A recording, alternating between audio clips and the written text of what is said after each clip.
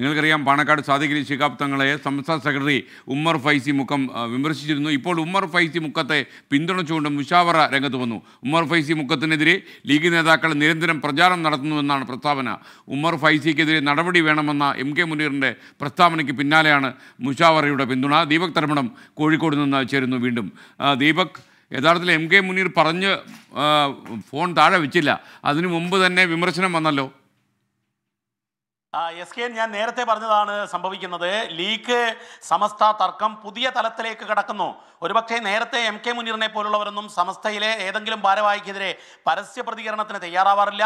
പക്ഷേ മുനീർ ഒരു മുഴം മുന്നേ എറിഞ്ഞുകൊണ്ട് ഈ ഉമ്മർ ഫൈസി മുക്കം അതായത് സമസ്ത കേരള ജമിത്തുൽ ഉലമയുടെ സെക്രട്ടറിക്കെതിരെ നടപടി വേണം എന്ന ആവശ്യം മുന്നോട്ട് വെച്ചു. ആ ആവശ്യത്തെ തള്ളിക്കളയുമാറ്.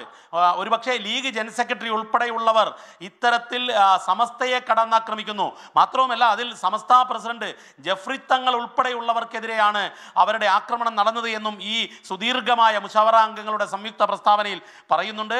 മാത്രവുമല്ല ഒരു കാര്യം കൂടി പറയുന്നു. ഈ കേരളത്തിലെ ഇന്ത്യയിലെ തന്നെ മുസ്ലിം ജനതയുടെ ഏറ്റവും സിംഹഭാഗമുള്ള പ്രതിനിധീകരിക്കുന്നത് കേരള സമസ്ത കേരള ജമീത്തിൽ ഉലമയാണ്. ഇതിന്റെ ശാക്തീകരണം തടയുന്നതിന് ജമായത്ത് തീവ്രവാദ സംഘടനകളും സലഫി സംഘടനകളും ശ്രമിച്ചിട്ടുണ്ട്. അതിനൊപ്പമാണ് ഇത്തരം ആളുകൾ എന്നുകൂടി പറഞ്ഞു വെക്കുന്നതാണ് പ്രസ്താവന? അങ്ങനെ നോ മാത്രവുമല്ല ഒരു കാര്യം കൂടി പറയുന്നു. മുസ്ലിം സമുദായത്തിലെ ഐക്യത്തെ ഇത് ബാധിക്കരുത്. അതായത് ലീഗിനെ മുസ്ലിം സമുദായത്തിന്റെ ഭാഗമായി കാണുന്നില്ല എന്നുള്ള സൂചന കൂടിയാണ് ഈ പ്രസ്താവന. മുഷാവറ അംഗങ്ങൾ ഒൻപത് പേർ ഒപ്പിട്ട ഈ പ്രസ്താവന പറയുന്നത്. അങ്ങനെ നോക്കുമ്പോൾ എസ് കെ എൻ വരുന്ന ദിവസങ്ങൾ ഉപതെരഞ്ഞെടുപ്പ് അടുക്കുമ്പോൾ മുസ്ലിം ലീഗും അതുപോലെ സമസ്തയും തമ്മിലുള്ള തർക്കം പുതിയ തലത്തിലേക്ക് കടക്കുമെന്നുള്ളതാണ് ഈ മുഷാവറ അംഗങ്ങൾ ഒപ്പിട്ട പ്രസ്താവന കൂടി വരുമ്പോൾ മനസ്സിലാക്കുന്നത് S K N. Thank you, uh, Deepak